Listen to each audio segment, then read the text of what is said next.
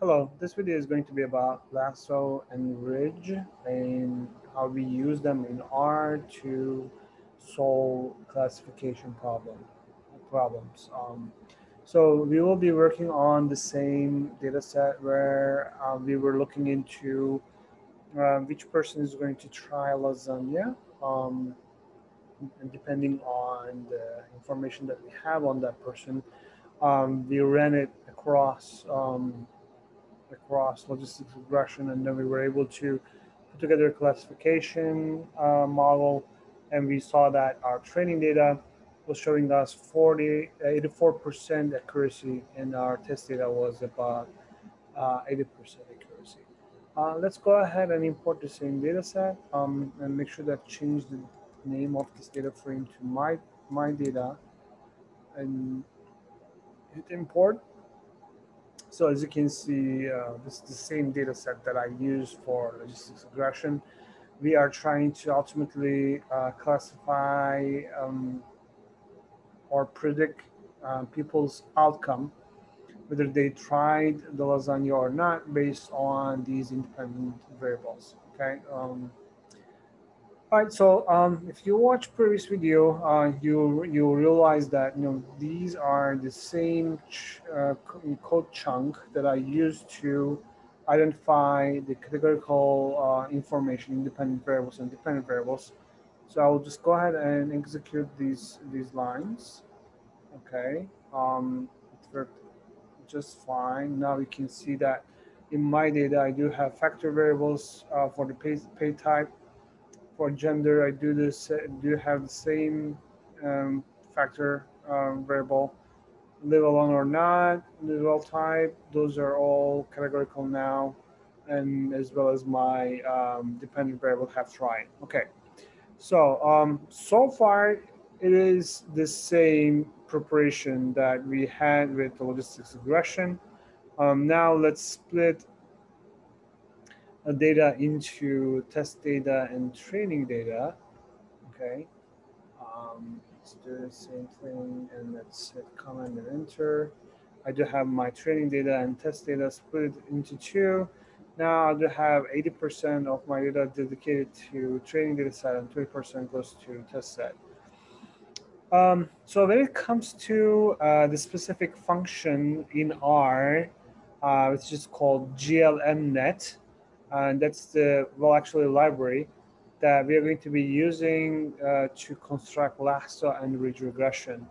Um, and one important uh, thing about those uh, that package uh, is you have to uh, transform your categorical independent variables uh, through a process called one-hot encoding.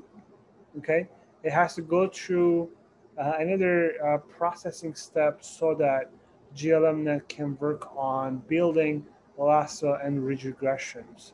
So what we do with, with this data set is going to, I'm going to show you the results of what's going to happen to these uh, pay type, gender, live alone, dwell type, and neighborhood categorical information that I already identified above as a categorical variable.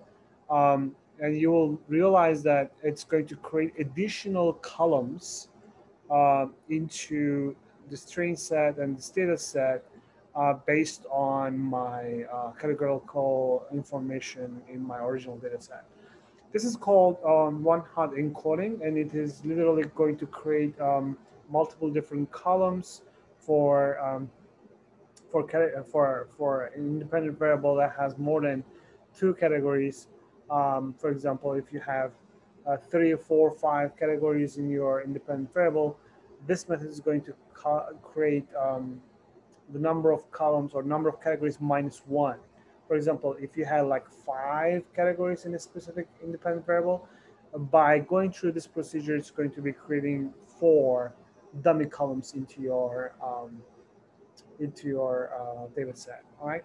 So I only handpicked uh, pay type, gender, uh, live alone, dwell type, and neighborhood because those are my uh, only categorical information in my data set. And I am entering this in model.matrix in R file, which is going to create me um, one hot code encoding one hot encoding process. Um, and it's going to make these independent variables go through that process and reallocate um, or recreate the columns that I will require them. Um, I'm going to create them against my have tried have, have tried column in the, in the train data set. That's why I use this tilde operation here. And I am going to drop whatever just developed by this function. I'm going to drop the first column out of it. The first column is going to be the intercept. It's going to be feeling like a like a linear model. It's going to be creating a column for the intercept, but I don't want it. Uh, and it's going to be, this operation is going to be making sure that I, I'm dropping it. This may have sound so sophisticated, but it is not really. So let's run this to see what this train factors um, data frame is going to look like, okay? So if you look into the train factors, um, you see that, for example, pay type salary uh, is created here and pay type, um, there was another pay type hourly. It wasn't created because there was only two categories, right?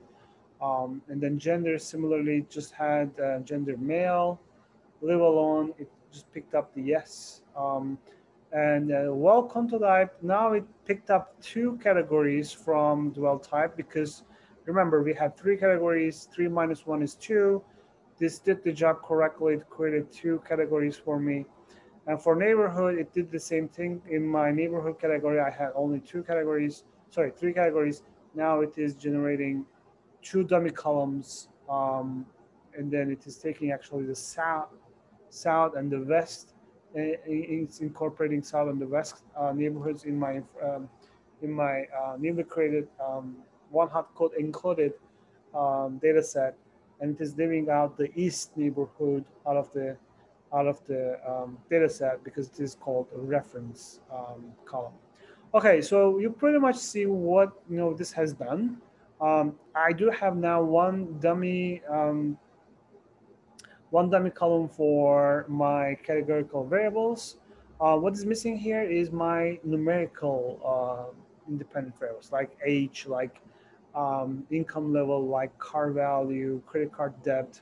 Remember number of visits to the mall, now it is my time to merge these two data sets together, right? And I do use as dot matrix, and then I do use the data frame creation function, and I do call the train factors that I just created. So this is going to be merging all these columns that I just showed you with the numerical columns in the train data set. Okay, so if you uh, execute this line, and you will be creating train X. Right? If you click on train X now, you do have all the categorical information as well as your numerical information. Uh, but pay attention, you do not have have tried column here. The dependent variable is not included here. So you have to um, you know, uh, have it um, in a different way. All right.